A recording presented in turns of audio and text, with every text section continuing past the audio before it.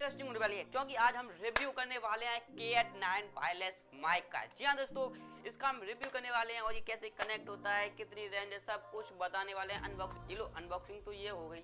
बस, अब क्या रिव्यू रह गया है इसका। आप सोचते हो कि डब्बा डब्बा लेके मैं बना रहा हूँ। देखो आप, इसमें अंदर भी रखा है माइक रखा है और कनेक्टर भी रखा है, दोनों चीज़ रखा है। लेकिन ये मेरे कोई काम का नहीं है। मैं इसे वापस करने वाला हूँ। क्यों करने वाला हूँ?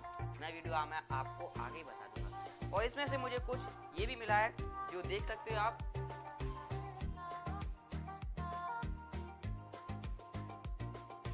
इसमें लिखा है, अगर आपका मोबाइल ओप्पो वीवो रियलमी है तो ये कनेक्ट हो जाएगा।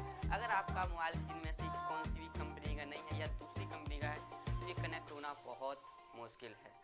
तो यही वीडियो मुझे आपको बताना था कि केयर अगर माइक आप परचेस करते हो तो अगर आपका मोबाइल ओप्पो वीवो रियलमी है तो इसे परचेस करें अन्यथा ना करें। वैसे ही आपके पैसे बेस्ट जाएँगे तो मैं इसे वापस करने वाला हूँ।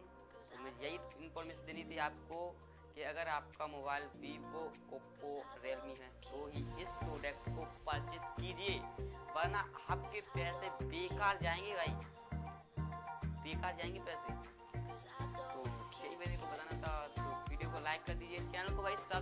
को तू तो कर दो। मैं इतनी मेहनत से